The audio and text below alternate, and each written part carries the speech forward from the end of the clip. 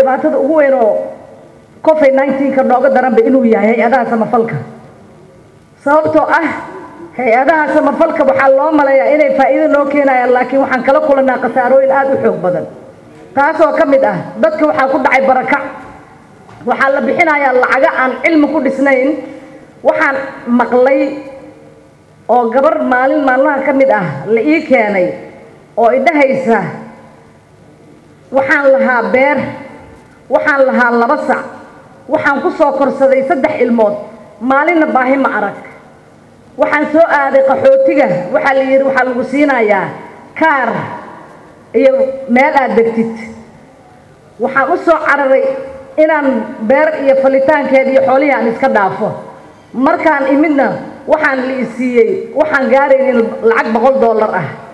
Ilmahaygii waxaan kala kulmay rafaad badan waxaan galay inaan dadka dharka u soo dhaqo anigii nolosha caadiga ah iyo xoolahaygii iyo beerahayga ku noolaa. Naagihii aan dharka u dhaqaayena lacagihii aan ku lahaa waa iga ii diidan inay siiyaan. Cid iiga qaadana ma laha. Gabaray wax ma u qaban kartaa. Adaa xildhibaana intay gabadha ii shaqey gabadha ila joogtay baasaa igu tiri. Bacdeen waxaa nasiib darro ah in dadkii waddankii ayagoo beerahooda iyo xoolahooda dhaqanaya laga soo kaxeeyo la keeno. Dibna uma noqon karto waxaan sameeyey gabadhii waan la hadlay.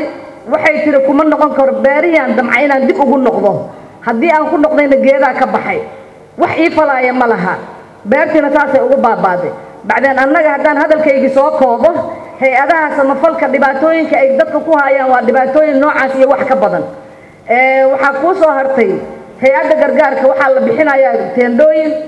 Markuu roobabka xoogga la yimaado badanaa dhibaatada waxa ay ku dhacdo waa dadkaas masaakiinta ah oo la soo barakiciyey ma ahan inay soo barakiciyaan qolada nabaddiidka ah laakiin waxaa soo barakiciyay hay'adaha samafalka. Mid waa taasaa because mashruucyaa dadka lagu qaataa wixii ay xaqa u lahaayeenna ma helaan xuquuqdoodina way ka soo tageen.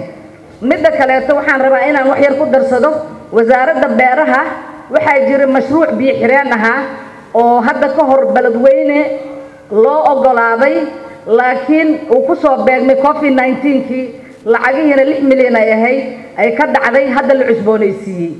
Waxaan codsanayaa wasiirka maadaama mar walba ay nagu soo noqnoqoto fatahaadaha biyaha isbeshel gobolka hiiraan oo dhibaatooyinba aan ku haya oo mar walbaba qofkii aan uusan degi karin eryooyinkii ay deganaayeen maalin walbaba ay buurta kor u sii fuulayaan.